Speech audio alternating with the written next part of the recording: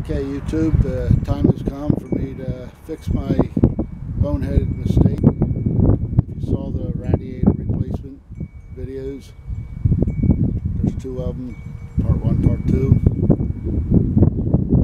You know that I broke the oil pan when I jacked it up, thinking I could get away with it by putting the jack on the corner Okay guys, we're under this Chevy Sonic and what it looks like here is, I've looked at this before,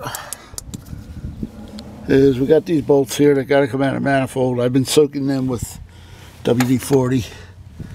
It looks like the exhaust will swing out of my way so I can work. Uh, got the O2 sensor up there. Shouldn't be a problem. I might unplug that just to make sure it doesn't drop far, don't look like it dropped far enough to pull that wire out. Yeah, we got, it looks like about 12 bolts up around this pan here. Two, four, six there.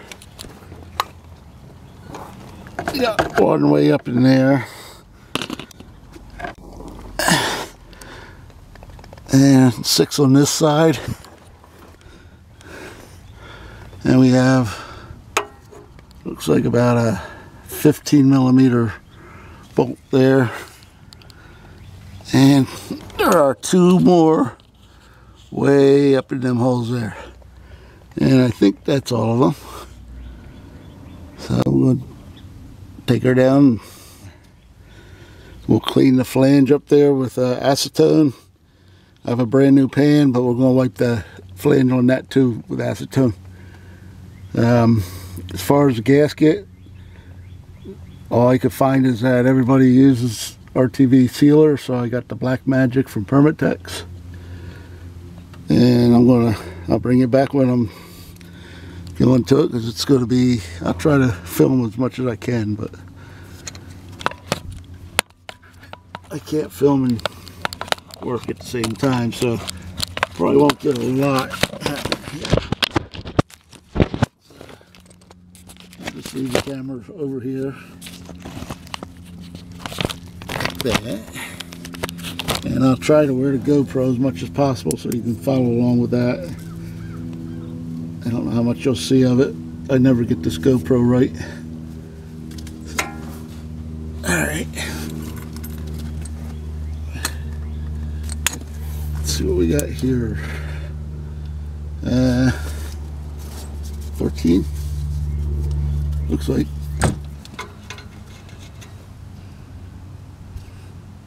12.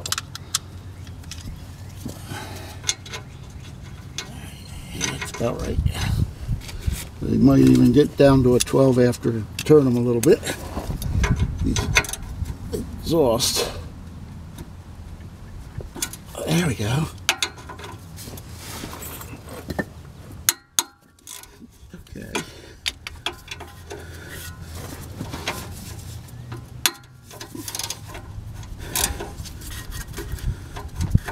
Just sure turning on the other side.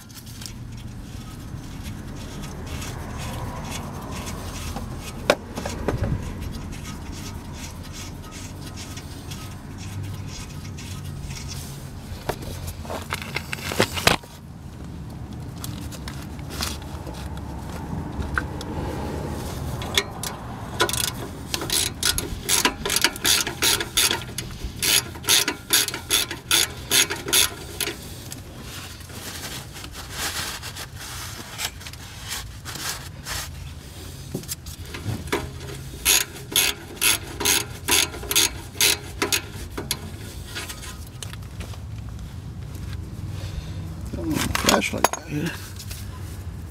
So we can get some light in here. I don't know.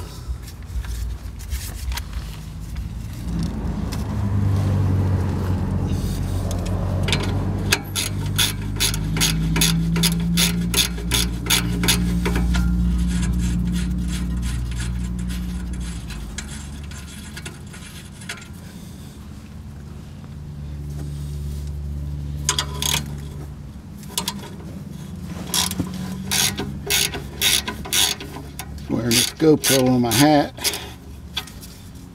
That's the I have the uh, sun visors to the back of my head and makes it very hard to work because you're holding your head up in the air. So we may have to just take this off and see what we got.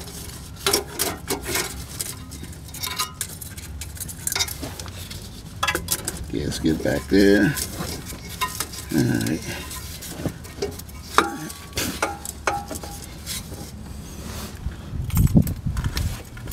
Okay, what we're trying to do right now is we got to get this off the mounts.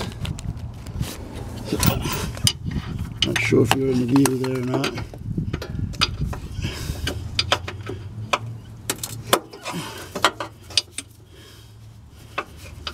Off the uh, hangers here, these rubber bushings.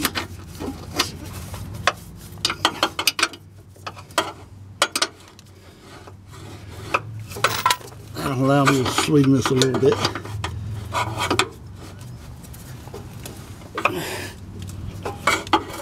It ain't working.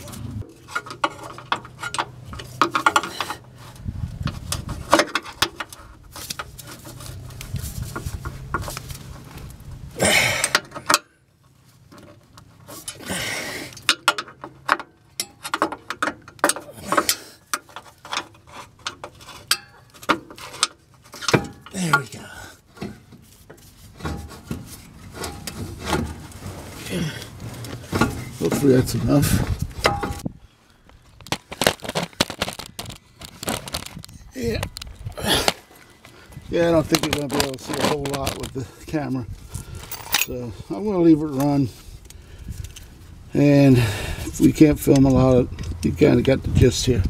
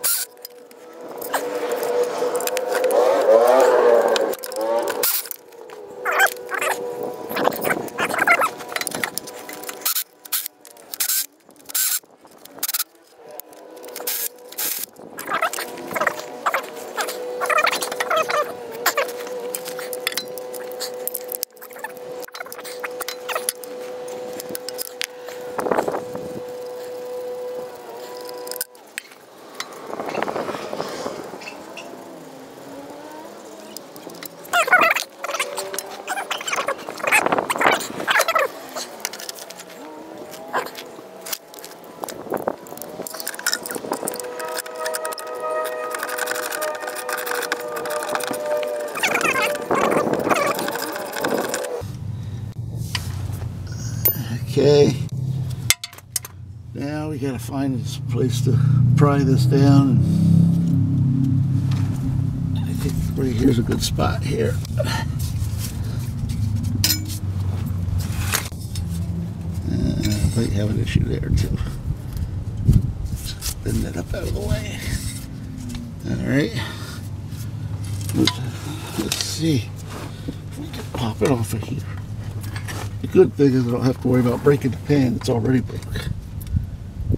Ah, there it goes, coming right down. All right.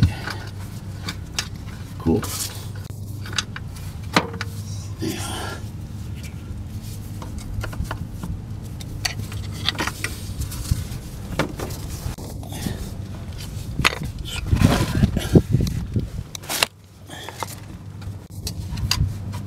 So I did forget about is the oil dipstick is here. Um, attached to block, but might be a problem getting back in with. Let me see if I can find the bolt holding that. There should be one here somewhere. Yeah, I think it's on the top. Yeah. So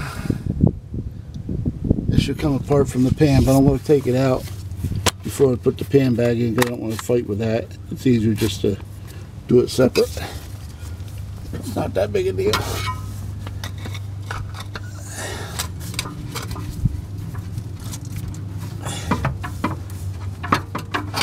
Okay, that's a good spot to pry if you get into it. Let's see what else is still attached. Okay, so the only thing that's holding it right now is the dipstick. All right, yeah.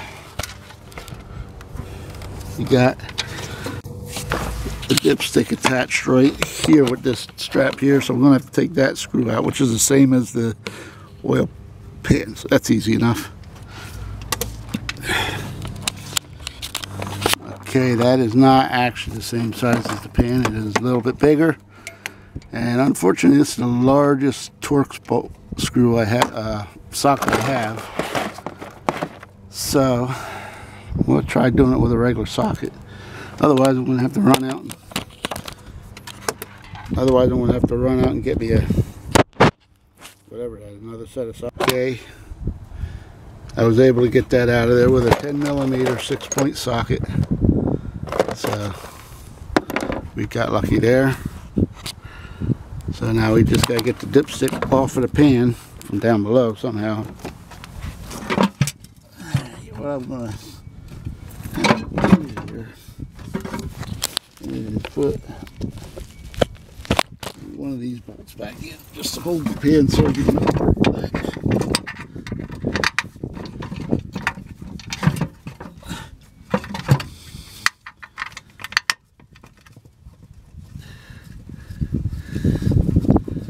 The other thing I haven't figured see is if my bolt came down yet. Still in there? Yeah, it's still in there. Alright. Now what I'm gonna do here, we don't want to take this cover out. It gets all the way up in, in there. Alright, so we're still fighting with this dipstick here. We're trying to figure out. I put the bolt back in to hold it here. I don't want to damage this flex pipe here. But I gotta figure out how I'm gonna get that off of there. I can't twist, it won't twist for me. It'll break loose. And I can't get enough grip on it to pull it up. So I'm gonna go try to get a, something from up top and see if I can twist it. Okay, we got the dipstick to where it turns and. You're not gonna be able to see it, but it turns, but you just don't want to release it. So I don't know. I'm gonna put another bolt in up in there just to hold it up tight and see what we can do from there. The one thing that's giving me a hard time with this thing.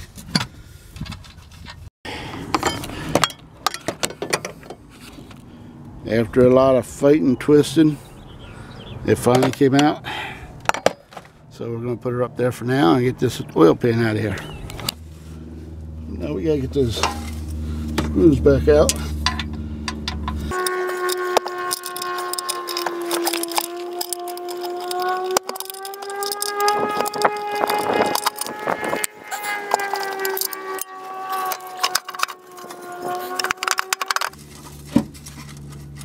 This needs to come out of my way yet. You may have to take it apart back there. I hate to do that, but you're going to have to. You're going to have to take those two bolts out. Right there.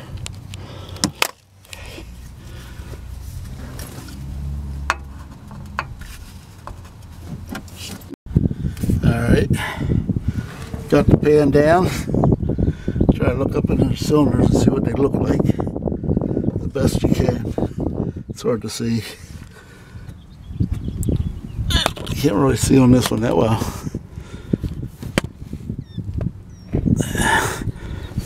Well, I see it's pretty clean now.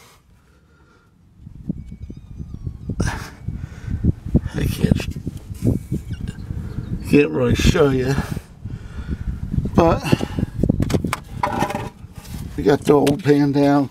What I'm going to do is I'm going to clean around the edge here. I'm going to scrape off any of this uh, sealer that's left on here. Okay.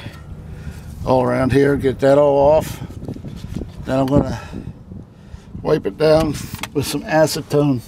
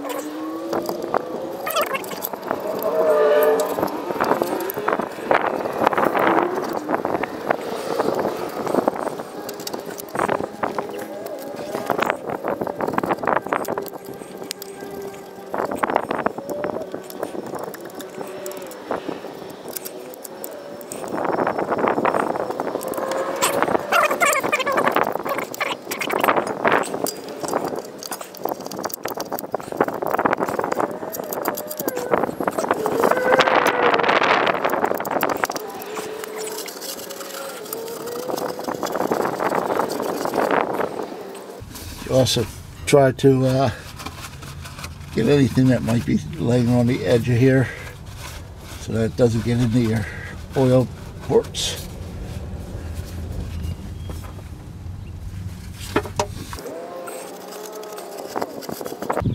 All right.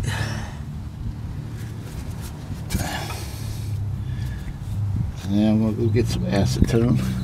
Okay, I got me some acetone here. I'm gonna put some this rag here. Wipe down all up in there, and get all the oil off nice and smooth, clean. And I'm also gonna wipe down the new uh, oil pan.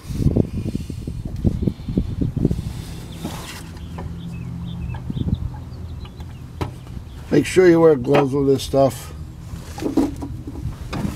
or any of these type of chemicals that you use.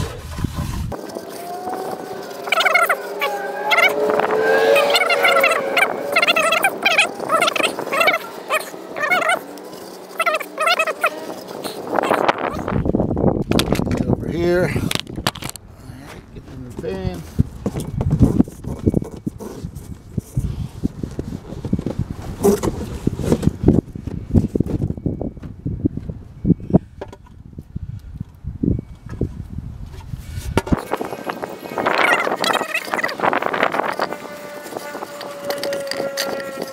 The thing is with this, make sure you don't get any rag. Probably a, should be use a cotton rag or something that don't have these little flakes in it. All right.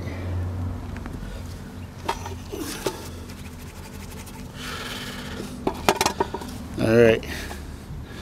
Find my RTV here. Okay. Your RTV and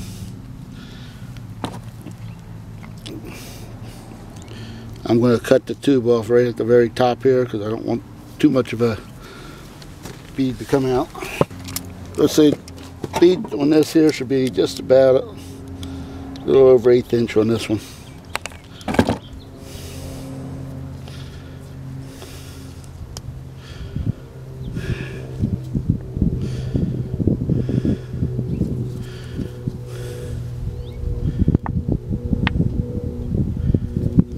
Got a little bit more off of that. Here all day trying to squeeze that out.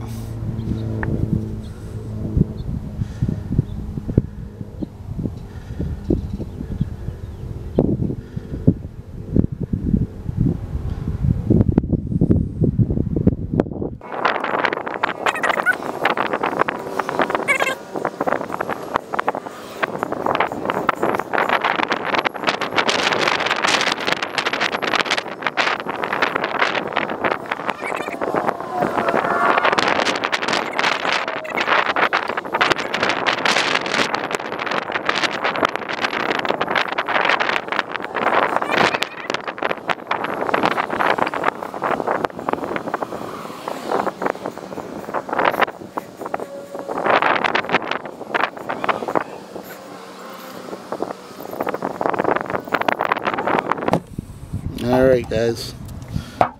There she goes. Gotta go back up in there.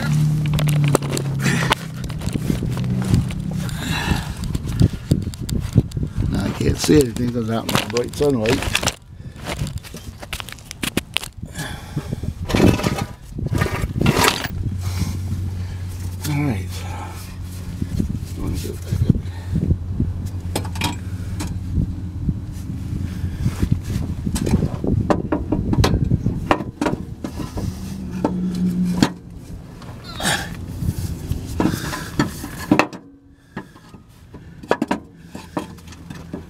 Alright, go up nice and slow and easy.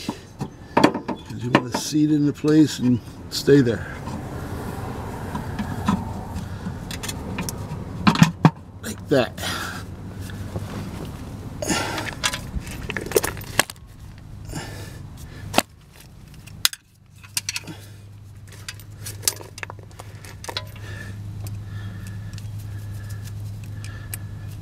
Come on.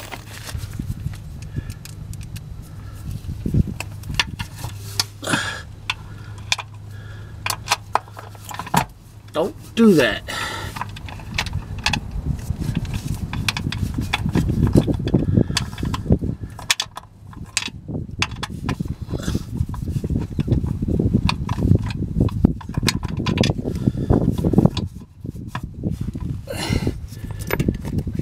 Let's get another one on the other side.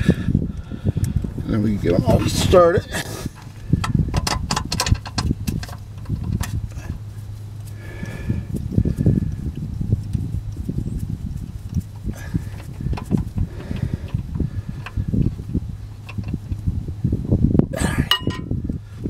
Two. You want to get it up in place and not move it any more than you have to.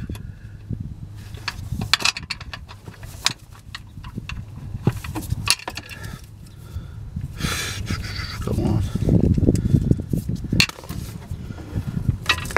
Okay guys, I had to go get another battery. Uh, so, what we're going to do, we're going to tighten up these bolts make sure I got them all in yet. Okay, they're all there. All right. What we're going to do is we'll find my flashlight first. Oh, we'll go. man. Wait, don't want to right. We're going to go from the middle, which either one of them is going to be middle. We're going to just kind of crisscross back and forth. And I'm not going to go crazy with them. I'm not going to torque them. The uh, correct torque is called, uh, it calls for uh, 10 Newton meters. In foot pounds, that's about seven and a half, a little more than seven and a half. Um, I don't have a uh, quarter inch drive adapter for my torque wrench. So I'm just going to go to where I think they should be because I do have a fairly decent feel for where what it should be. So, uh, and it. Okay, let's try this again. To change my battery and put the dead battery back in, but what I am going to do is I'm going to tighten these up from here and crisscross back and forth.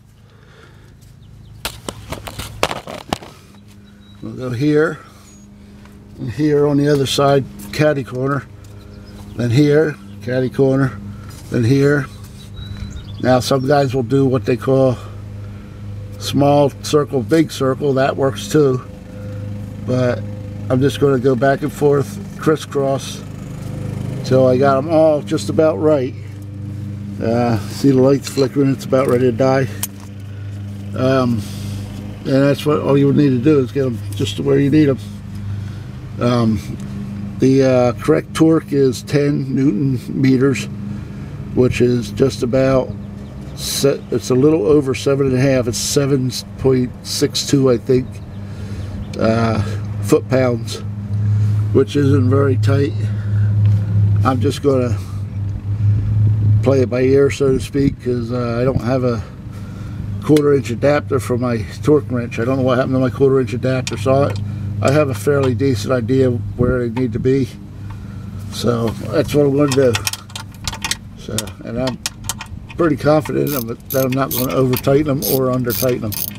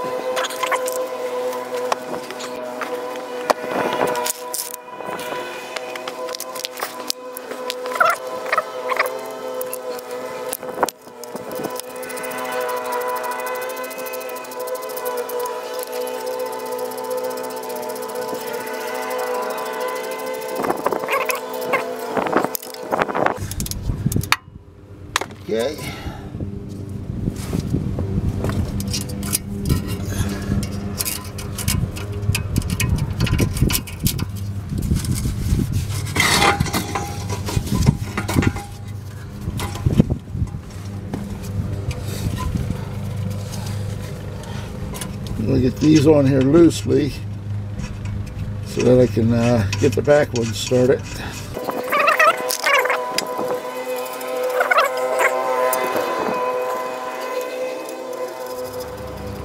let's get the back started.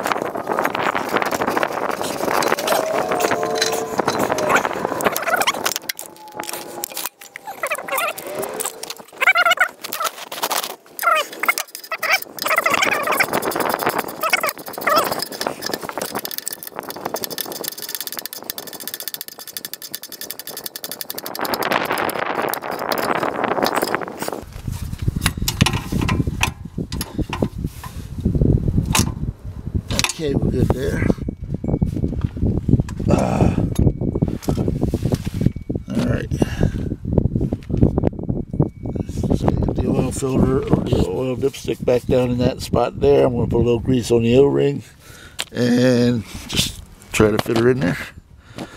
see what happens.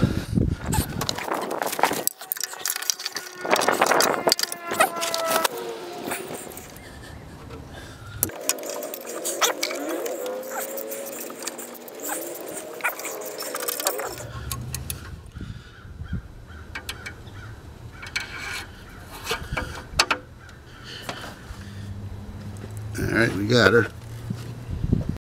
Alright. Gonna try getting you down in there. Filter cap right there. So, let's see if we can get in there and take it off. I don't know if you'll be able to see it or not.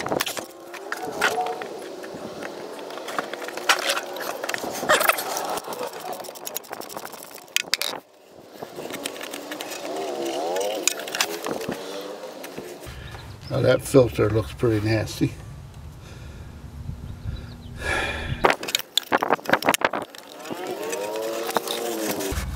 There's a torque specification right on there. Yep, 25 Nm, but I'm just going to snug it up.